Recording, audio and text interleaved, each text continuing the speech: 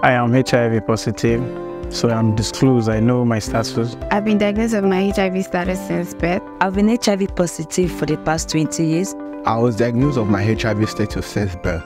My viral load have been undetectable for five years.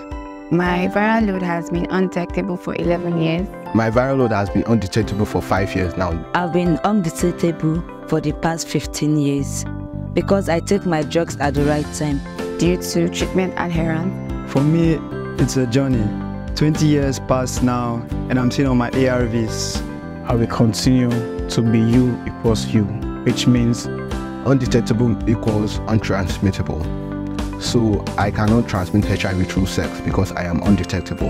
Undetectable equals untransmittable. I cannot transmit HIV because I am undetectable. U equals U. Undetectable equals untransmittable.